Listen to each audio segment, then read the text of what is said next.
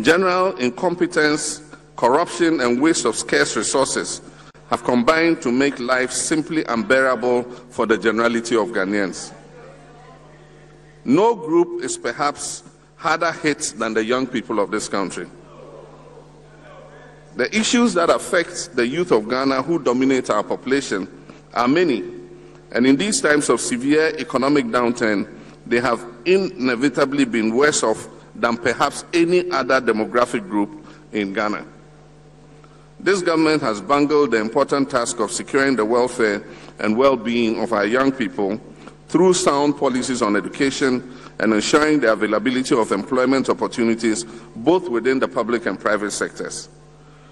The government has been so poor in its policy making and delivery in education that at all levels, from basic through secondary right up to tertiary, the students of Ghana are suffering immeasurably.